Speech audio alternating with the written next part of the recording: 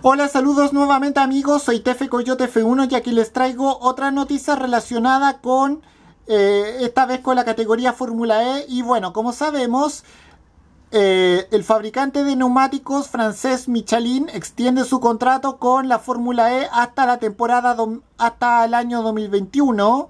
Es decir, para la temporada 2020-2021 la Fórmula E, Michelin seguirá siendo proveedor de neumáticos de la categoría eléctrica Fórmula E y, y de esta manera esta marca francesa fabricante de neumáticos eh, renueva su acuerdo de proveedor con la categoría eléctrica la FIA y bueno eh, espero que le vaya bien a Michelin eh, en 2021 y seguramente ese año podría renovar el contrato nuevamente. Y con esto me despido. Adiós, Camifora, chao.